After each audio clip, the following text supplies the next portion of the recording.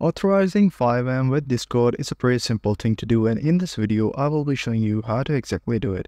So first thing first, I will provide the link of the FiveM in the description of this video to make sure that you check it out. So the first step is to download the FiveM. So go to your Google Chrome and search FiveM download. So go to this link and click on download client.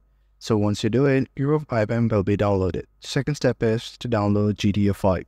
So go to the Epic Game Store and that's what I prefer you and uh, get the GTA 5. So all you have to do is to go to the search bar and search GTA 5. So in that, uh, well, just you need to buy the game for $29. So after that, all you have to do is to go back to the main page and then uh, all you have to do is to make sure that you go to the setting of the Discord.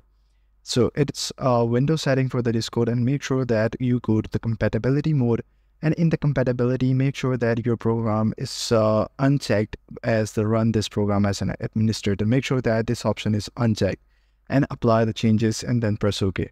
So once you do it, your uh, computer will be set up to be authorized uh, with the FiveM. Hmm, so the next step is join FiveM server, then link Discord and FiveM, open FiveM settings and go to the settings and link your Discord account. So get the permission, verify with the server admins and that you have the required rules or permission. So that's how you can do it. I hope you found this video helpful. If you do, please consider subscribing to the channel. Take care. Bye-bye.